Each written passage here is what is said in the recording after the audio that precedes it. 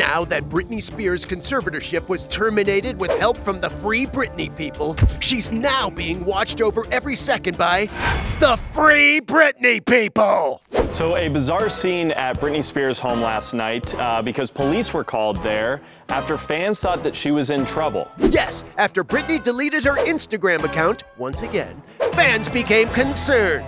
They called the Ventura County Sheriff's Office to go do a welfare check at Britney's home, which they did, and they determined that she was not in danger, so they left without incident. The Free Britney people basically just put her under their conservatorship. They determine what she can and can't do. They call the cops, who she can see, where she can go to dinner. They took control of her life. Now we gotta start a new hashtag. Hashtag Free Britney from people who freed Britney. So wait a minute, so the fans call the sheriff and say, oh my God, she's off Instagram, something's wrong, and they go? If going off social media triggers a welfare check, people are in trouble.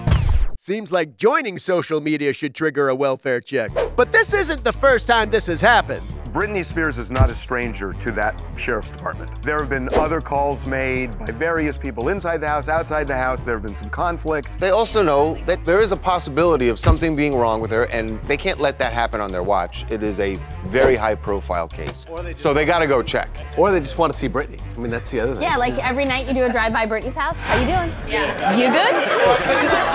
see you tomorrow. Glad you're okay, Britney. Hashtag free Britney from people who free Britney.